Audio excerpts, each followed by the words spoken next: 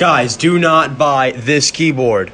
The W, A, S, and D sound all really good. It's the spacebar that's making me get rid of it.